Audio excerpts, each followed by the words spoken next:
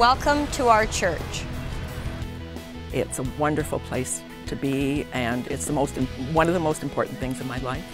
We have a, a quiet communion, then we have a charismatic praise and a traditional and I think that's what makes our church so popular is that it reaches out to everyone. I attend church because I find it's a really great way to renew my spirit and um, sort of come back to my roots and to my values and to remember what they are every week. A service that I attend is something that is uh, uh, appeals very well both to myself and my wife by tradition, but also for our kids.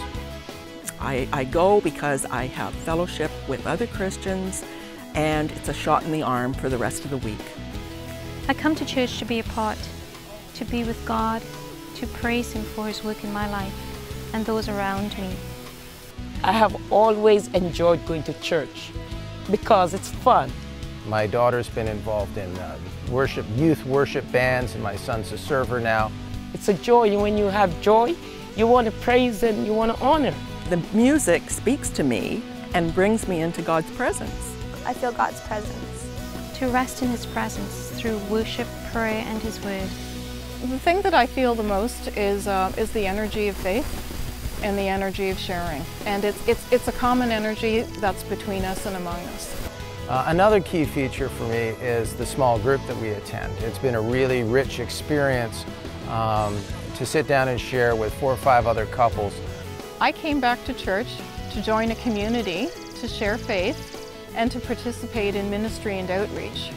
The outreach programs, but specifically overseas missions, that's what's gotten me um, really involved in the church. Really wrestle with uh, what being a Christian parent is. Uh, back in high school, uh, it's what's what caused me to get connected with the youth group. I went on my first trip in grade 10, grade 11, somewhere around there. Or what being a Christian in the workplace is. At the end of the day, it's the people. That's that's really what church is. I mean, like it goes back to that song, the church, the church is the people. and It's truly, truly the people.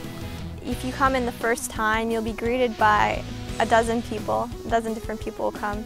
Um, and everyone's just really lovely and really warm and welcoming. And people don't realize how important that is.